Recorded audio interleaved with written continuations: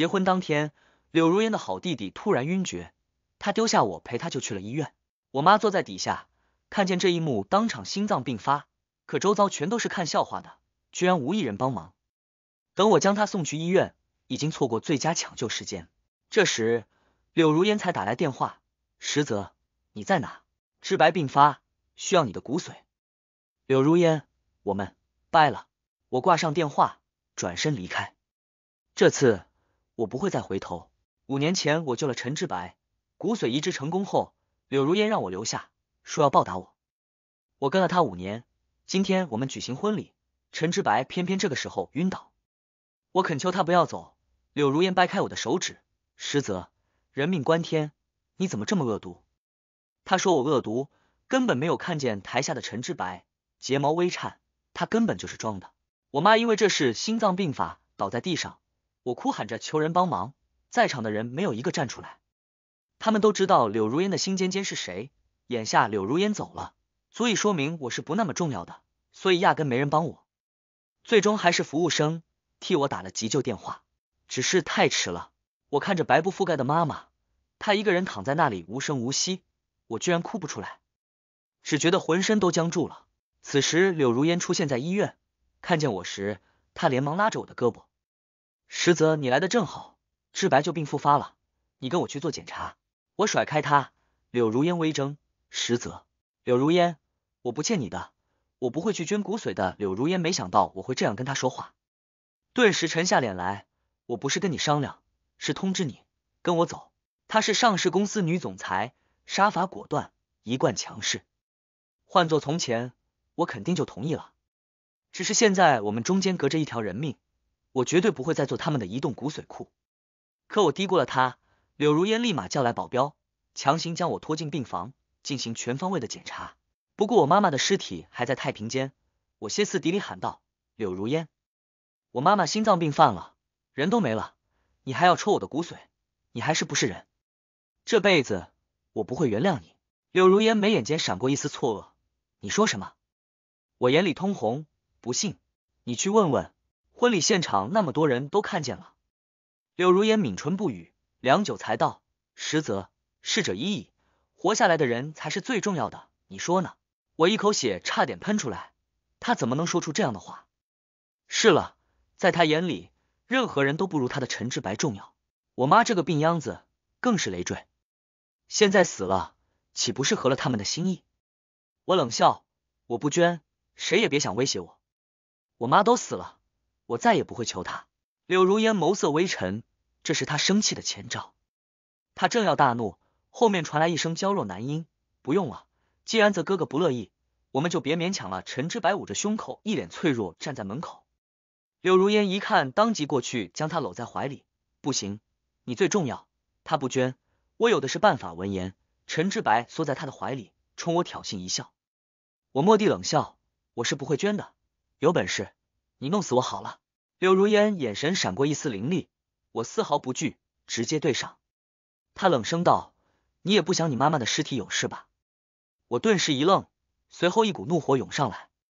柳如烟，你敢捐了骨髓，我就当什么都没发生。他搂着陈志白离开，我瘫坐在地上，知道他一定做得出来。柳如烟，你会后悔的。听见我歇斯底里的哭声，柳如烟怔住了，但是脚步只是短暂的停留，随后头也不回的离开。我深吸一口气，还没有来得及反应。就被他的保镖提了起来。刘总说了，在此之前你要进行一次检查，什么时候捐了骨髓，什么时候才能够离开。我不由大喊：你们这是犯法的，放开我！但是我一人微言轻，根本就没有办法和他们抗衡。我被拖到了手术室里，当白大褂拿着针筒过来的时候，我顿时紧张起来。他提醒我，想想你妈妈，不要做无谓的抵抗。我苦笑，针筒戳进来的那一刹那，痛彻心扉。感觉到身体好像被抽空了，紧跟着晕了过去。等到再次醒来的时候，四周空无一人，只有我躺在病床上。不知道过了多久，才有护士过来看我。你醒了，回去好好休养。我顾不上疼痛，一把抓住了他。柳如烟呢？我妈妈的尸体在什么地方？护士一脸为难，这个我不太知道，你只能问刘总了。我一下子就翻身下床，摔在地上。门外走进来一个人，正是柳如烟。她赶紧过来将我扶到了床上。我揪住她的衣领，柳如烟，我妈妈呢？放心，已经送到殡仪馆，你随时都可以过去。我当时就要走，他按住了我。医生说过了，你才刚刚抽了骨髓，现在需要休息，不需要。我甩开柳如烟的手，脸上带着一丝冷漠。你记住，这是我最后一次捐赠骨髓，从今以后，你我各不相欠。说完，我推开他，柳如烟死死拽住我的手腕。你别闹了，行吗？没有骨髓，志白会死的。我觉得好笑，是吗？可你在婚礼现场丢下我的时候，有没有想过我妈会因为这件事情离开我？我只有他一个亲人了。柳如烟看着我通红的眼眸，微蹙眉头。对不起，婚礼我可以补给你，柳先生的位置我留给你，谁稀罕？柳先生真的是好大的荣光。柳如烟，你不会以为这样我就会原谅你吧？我希望从他的眼睛里看出一丝愧疚，只可惜没有。柳如烟深吸一口气，我会补偿你的，补偿。我们中间隔着一条人命，杀人偿命。你把你的命补偿给我好了。柳如烟有些不耐烦了，实则适可而止。有些时候，死亡或许是解脱。我抬手就是一巴掌。柳如烟的脸偏向一边。这时，外面突然传来一个声音：“阿烟，阿烟，你怎么了？”陈志白穿着病号服，脸色苍白，连忙扑了过来：“阿烟，你怎么可以打人？”他对着我怒目而视。我冷笑：“打他都是轻的。”怎么，柳如烟，你受不起我这一巴掌吗？还是说你想要打回来？随便你。我昂着头看着他，柳如烟叹了一口气，刚要说话，我捂着自己的手直接离开。你去哪里？用不着你管。我说过了，你我各不相欠。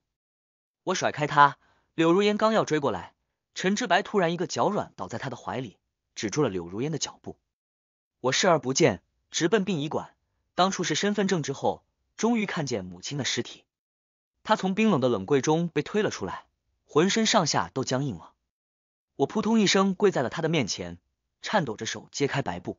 当看见那张熟悉的脸时，我感觉浑身僵住了，嗓子眼里却只能发出干涸的声音，哭不出来，根本没办法宣泄，心痛的快要裂开了。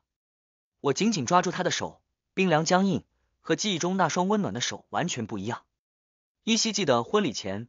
妈妈搂着我，柔声道：“我们小泽马上就要结婚了，今后就算妈妈不在，你也可以有人照顾。那时候，我们都没想到柳如烟会选择陈志白，都是我，是我太天真，满以为自己可以待在他身边，几年的付出就能获得他的真心。我实在高估了自己，也低估了陈志白在他心中的地位。不知道过了多久，还是殡仪馆的工作人员提醒我：石先生，可以了吗？时间到了。我退到一边。压着嗓子点点头，亲眼看着妈妈被推进火化炉中，再出来的时候只剩下一个小盒子。我捧着骨灰盒，紧皱眉头。妈妈生前一辈子都困在那个小城市里，从来没有出去过。最大的愿望就是看着我能够找到好的婚姻。只是现在，我连一个像样的墓地都买不起。我手头上没那么多钱，只能套现。好不容易凑足了三万块，工作人员连忙跑了过来：“石先生。”有人花了大价钱给你换了一个高档的墓穴，就在那边，坐北朝南，风水很好。我不由得愣住了。你说什么？是谁？他还没走。姓柳听见这话，我立马朝着前面的办公区域走过去。看到柳如烟的那一刹那，我不由得捏紧了拳头。柳如烟，你到底想要干什么？柳如烟看着我，实则这是我的一片心意，你收下，我的心里会好受一点。不用了。我们小门小户的，受不起你的大恩大德。柳如烟好看的眉眼突然变得凌厉起来。实则你在矫情什么？不就是一场婚礼？你妈妈去世，我也不想看到，但她本身就有病，你能不能别钻牛角尖？这话从他的嘴里说出来格外无情。我深吸一口气，我说过，你我之间隔着一条人命，我不会原谅收起你的伪善。我妈妈在的时候，柳如烟从未过来看她，直到身体快要不行了，柳如烟才说见她一面。婚礼的事也是柳如烟做主，我妈妈说的婚礼事宜她毫不在乎，只是当做一次人脉积累，所以才没人理会我们的生死。闻言，柳如烟怒了，实则你别不识抬举，她也是我的婆婆，让她入土安息才是，不然你愿意看着她就这么寒碜入葬？不由分说，柳如烟抢过我手里的骨灰盒，交给一旁的工作人员，立马下葬。又对着一旁的秘书，让柳氏集团高层领导全都过来出席，通知媒体。我不由得捏紧了拳头。柳如烟，你又想干什么？我妈妈的葬礼不是你宣传公司的工具，我也不会假手他人。实则，我只是想要补偿。柳如烟沉声道：“婚礼上是我不对，我丢下你不管，这确实有错。知白说的没错。”不管怎么说，你都是我公开宣布的柳先生，我必须要做出回应，不然的话，你以后的路会很难走。所以这也是陈志白的主意。我抬头看着他，柳如烟点点头，知白是为你着想，你要知道。够了，我打断他，处处听一个小白脸指挥。柳如烟，真觉得对不住我，就别来沾边，好吗？柳如烟眉头紧蹙，你何必对他抱有偏见？要知道那天婚礼。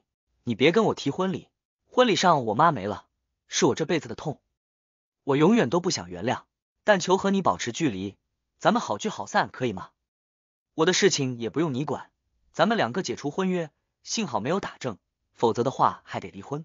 我庆幸当时并没有和他打结婚证，这也是陈之白当时极力反对的。我知道他是怎么想的，是害怕我真的成了柳先生以后就不好收场，所以才劝说柳如烟先不和我打证。现在我反而庆幸，而柳如烟不高兴了。我也不管他的脸色如何，伸手就要将骨灰盒抢过来，柳如烟却愣住了。就这么办，葬礼之后我放你自由，我没办法和他争辩，只能跪了下来。柳如烟看见我，当即愣住了。刘总裁，我求你了，还我自由好吗？我妈妈应该不想被你利用，更不想在你的指挥下举办一场盛大的葬礼。她只是我的母亲，她是我一个人的母亲。柳如烟，我求你了。看在过去几年我捐了两次骨髓的份上，求你了。我脑子里面晕晕沉沉的，自从捐了骨髓之后，还没有来得及休养，就已经到了这里。现在我浑身力气抽尽了。柳如烟看着我，神情有些松动。而就在这时，他的电话响了。我瞥见他屏幕上“陈志白”三个字，顿时脑海中升起一股不好的预感来。接完电话的柳如烟似乎又恢复了原来的坚定，就这么决定了，不要再说，实则你好好休息。后事由我来操办。他将骨灰盒交给身边的人，一把拽着我，将我塞进车里，随后不顾我的反对，带着我回到了别墅。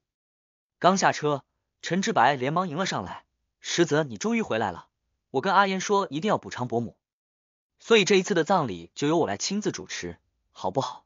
我被他气得脑子发晕，踉跄了两步以后，浑身都冒冷汗了。柳如烟，你为什么要这样羞辱我呢？我到底哪里对不起你？你非要这么做？我捂着双臂蹲下来，浑身冷汗连连。陈志白泫然欲泣，你这是怪我吗？我也不想的。柳如烟不悦，实则你够了吧？志白身体不舒服，还想着弥补你，你能不能别闹了？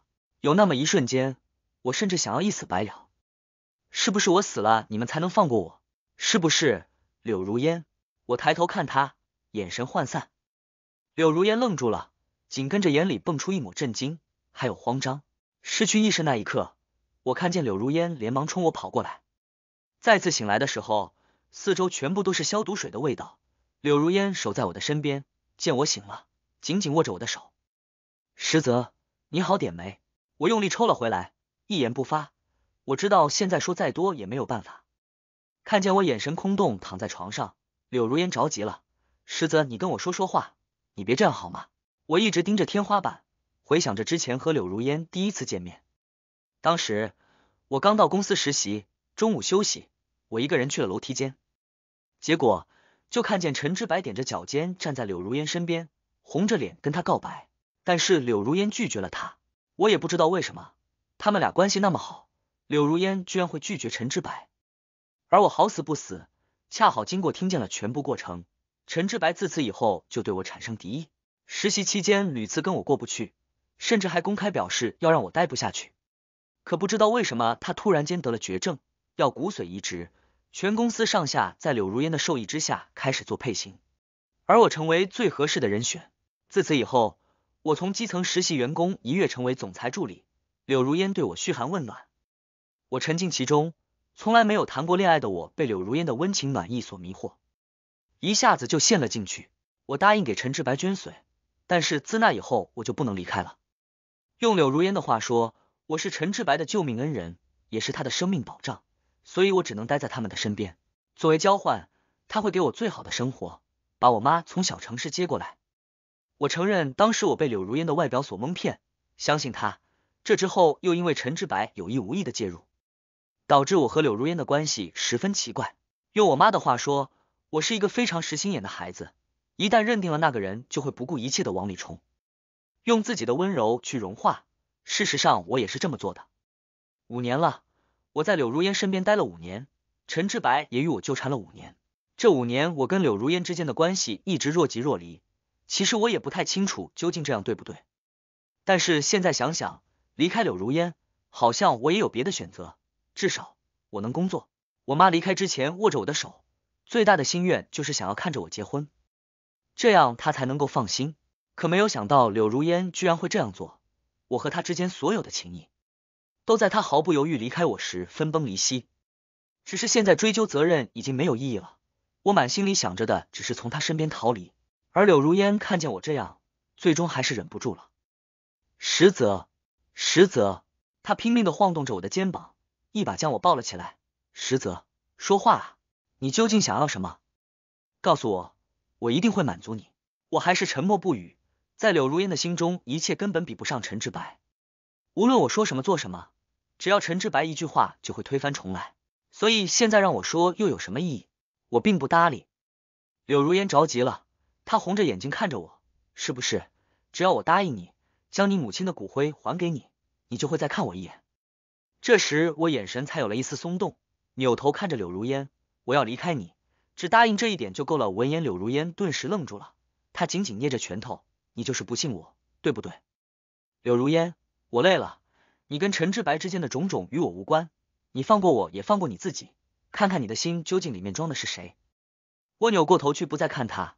柳如烟沉默良久，这才说：“你在这儿好好休息，我先出去。”他转身离开，我松了一口气，摸出枕头下放置的一部手机，想了想之后，发了条信息给陈志白：“你以为你赢了吗？实际上你就是个跳梁小丑。”只要我不愿意，柳如烟永远都不会选择你，陈志白。希望你能给力点。半个小时之后，陈志白气势汹汹来到了我的病房，看见我躺在床上，他不由得冷笑着：“实则，你以为当柳先生就了不起吗？你这辈子都得不到他的爱，我就不一样了。只要我动动手指头，他就会不顾一切放弃你。”我平静的看着他，所以得不到的永远在激动。你那么做，柳如烟知道了。会有什么后果？你想过吗？陈志白嗤笑，柳如烟相信我就够了，不会有那么一天的。实则这辈子有机会当柳先生是你的荣幸，像你这样的底层，能够跨越阶层就偷着乐吧，还痴心妄想让阿烟嫁给你，你配吗？看着他那不可一世的样子，我突然好奇，我捐了骨髓，感觉身体都被掏空了，虚弱不已，怎么陈志白跟没事人一样？好像根本不像个病人，为什么要这样对我？因为我看到你告白被拒绝，所以你才会不遗余力报复。陈志白笑起来，伸出手掐住我的下巴。是啊，你算什么？居然窥见我的秘密？你这样的就只配被我玩弄。其实我根本就没有病，但是我就是要让你知道，只要我开口，无论是什么，他都会不遗余力的找到。今天是你的骨髓，以后是你的器官，只要我需要。柳如烟就会双手递到我的跟前，你拿什么跟我比？他拍拍我的脸，识相的就乖乖听话，或许还有机会活得久一点。原来如此，陈志白这个癫公发疯害死了我的妈妈，我怎么可能放过他？陈志白，你真没用，用了五年都没能让柳如烟接受你，即便他对你掏心掏肺又怎么样？他可是从来没有想过要让你做柳先生，柳家也不可能去选一个病秧子的。陈志白没病，我实在是震惊不已。但是转念一想，他把自己的所有后路都给堵死了。就算柳如烟心中有他，但是柳家不可能会选择这样的人当姑爷。果然，陈志白听见我这样说，顿时怒了。你懂什么？只要我痊愈了，一切皆有可能。白血病复发，你觉得你会有痊愈的可能吗？我冷笑着看着他。就算你的病是假的，可是大家信了，你把所有的后路全部堵死了。如果我是你的话，不会这么蠢。陈志白，你这辈子当不成柳先生了，最多就是个不光彩的小三。我的话引起他不满，陈志白顿时气急败坏，抬手狠狠抽了我一耳光，又掐住我的脖子。实则，你这样的我碾死了都没人在乎。婚礼上我是故意晕倒的，我就是要让你看清楚，我在柳如烟心中是什么地位，你永远都斗不过我。即便柳先生的位置给了你又怎么样？你等着，我会让柳如烟再一次捅你一刀。这场葬礼我会如期举行，你妈妈的骨灰我也不会留着，就用最近流行的海葬好了，直接扬了。我怒了，陈志白却拍拍我的脸，转身笑眯眯离开。看见他这嘴脸，我拿过手机来关了直播。陈志白，希望你还能笑出来。他在公众眼里一向是一个坚强的男孩。他营造的人设就是绝症男孩的坚强日记，里面记录了他生病的每一天，吸粉百万。现在我的直播曝光了他的真面目，让所有人大吃一惊。当面一套，背面一套，这双面人被他演绎的淋漓尽致。当初看见他在抖音上说自己得了白血病，进行骨髓移植，我问他骨髓移植来自于何处，难怪他支支吾吾不肯说，搞了半天是随时养在身边，当他的移动骨髓，真可怕。有钱人就可以为所欲为了。查一查柳家究竟是怎么回事？据说这男的在柳如烟的婚礼上被丢下来，他的母亲也死了，真可怜。舆论是一把双刃剑，只要用得好，就可以砍向任何人。我知道柳如烟不会放过我，但是这也是仅剩的机会了。做完这一切之后，我长舒一口气，靠在病床上。柳如烟没过一会儿就匆匆赶过来，看见我时，他踉跄了两步。实则我。柳如烟，看清楚了吗？这就是你心心念念的陈志白。这五年他他对我做了些什么？你当真一无所知吗？每每装作什么都不知道，事后再给我补偿，谁稀罕？双标狗，以后离我远点。另外，我已经报警了，我把墓园里的视频也拷下来了，证明是你抢走了我妈妈的骨灰。如果你不还给我，我一定会告你到你坐牢为止。柳氏集团的总裁就算再有钱。也逃不过法律的制裁。柳如烟顿时捏紧了拳头，随后苦笑：“是我对不起你，你要怎么惩罚我都是应该的，只求你不要离开。”柳如烟拉着我的手，他心中所想全部破碎。没想到陈志白骗了五年，就因为告白失败被我看到了，所以加倍折磨我。他布下了这盘棋局，输得彻底。柳如烟的恳求让我不禁冷笑，我抬手就是一巴掌，这一巴掌是替我妈打的，你对不起她。我又给了她一耳光，柳如烟的脸左右两边对称的红肿起来。这巴掌是为了我自己。五年了，我做你的舔狗五年，事事以你为先，处处为你着想，总想着自己能够感动你，可没有想到感动的是我自己。柳如烟，我们两清了，把骨灰还给我，我不会再计较你之前的种种。此时柳如烟看着我，骨灰可以给你，但求你不要离开我。你有什么资格让我不要离开你？在你伤害了我，害死了我妈妈之后。我永远不会原谅柳如烟，我不爱了。我推开他，直接走下病床。柳如烟着急了，你身体弱，千万别。你不想见我，我走好吗？他慌乱后退，和一开始的杀伐果断与冷漠截然不同。我笑了笑，柳如烟，以后再也不见。警察来的很快，责令柳如烟将骨灰盒还给我。我迅速给我妈下葬，等到入土为安之后，我才长舒一口气，跪在墓碑前，我不知道从何说起。良久才道：“妈妈，你放心，未来的日子我会过得很好。现在的我谁也欺负不了，我不爱柳如烟了，不会再受她掣肘。”微风拂过我的脸颊，仿佛听见了我的心声。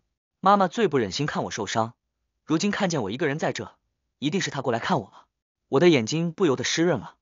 以前和柳如烟在一起的时候，我总觉得自己是她的唯一，即便陈志白在一旁阴阳怪气，我都没有放在心上。毕竟柳如烟选择的人是我，可是现在想想，她的爱是枷锁，不，那不能被称之为爱，那只是交换。他把感情当作是物品，等价交换。柳如烟是生意人，向来不做亏本的买卖，在这场不对等的交易当中，明显他觉得我占了便宜，所以理所应当让我付出的更多一些。可是爱情不是买卖，谁付出多谁付出少，会在另外的地方相互弥补。而不是像柳如烟这样只知道一味的去索取，而我也没有搭理他。柳如烟给我打电话，我没有接。网友们对于柳如烟和陈志白一点都没放过，我的社交平台被网友们发现，手机号码也被曝光了，一天能收好几百条问候信息，我都没有回复。有些时候冷静处理好很多，因为我一直都没有回复，大家都在猜测是不是柳如烟软禁了我，全网都在担心我，而我已经收拾东西搬出来了。柳如烟每天在楼下等我，我都闭门不出。原本我也想休息休息，捐骨髓也是很伤身体的，五年内捐了两次，这身子可经不住这样折腾。我不出去，柳如烟就频繁给我送花送吃的，我全扔了。可她还是乐此不疲，我实在是忍不住了，当天晚上穿着外套就下去了。柳如烟看见我出来，顿时眼睛一亮，实则，你终于愿意见我了，柳如烟，你够了。我看着他无声叹息，现在做这些有什么意义呢？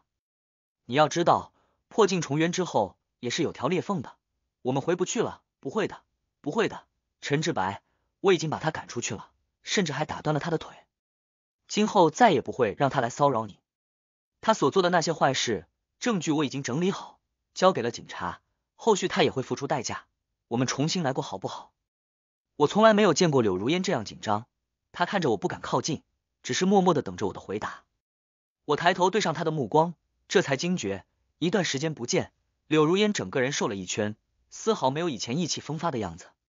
我只是挑挑眉头，柳如烟，太迟了，如果你再纠缠，我会离开这座城市，让你永远都找不到。柳如烟眼里闪过一丝愧疚，她默默退了出去。大概知道我说得出做得到。自从心里没有他的位置之后，我的心肠变得异常的冷硬。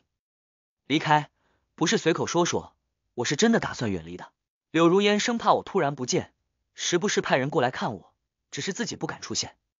我们很长一段时间都没有再见面，好不容易熬过了那些最难熬的日子，我长舒一口气，却在当天看到空降热搜，柳如烟被抓，也不知道是不是舆论使然。